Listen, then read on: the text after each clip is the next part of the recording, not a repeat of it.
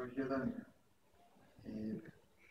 ارز کنم خدمتتون که من امشب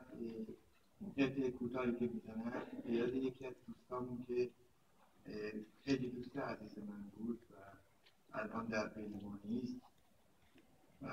من هر موقعی که کنسرت می‌دادم هر جایی که بود